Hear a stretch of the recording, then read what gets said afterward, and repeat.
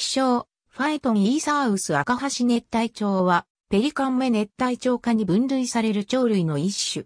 体長約48センチメートルで、成長の2本の白い中央葉を含めた全長は約2倍になる。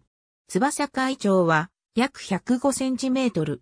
大部分が白く、上面に横縞があり、長い両翼の風切り葉には黒縁がある。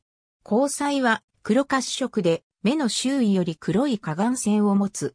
くちばしは赤色。足は黄色みを帯びる。私有動色だが、オスの方が平均して、お葉がより長い。幼鳥は長く伸びる尾がなく、背はより暗色で、くちばしが黄色い。アシュ、PA インディカスは黒色の下眼線が少なく、くちばしはより橙色を帯びる。東太平洋、大西洋、西インド洋の熱帯域、カリブ海、ペルシャ湾、航海に生息。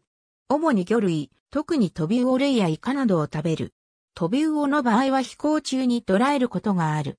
食性は地域によって変異があり、インド洋ではイカの比率が増大する。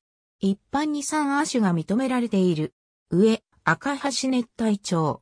ありがとうございます。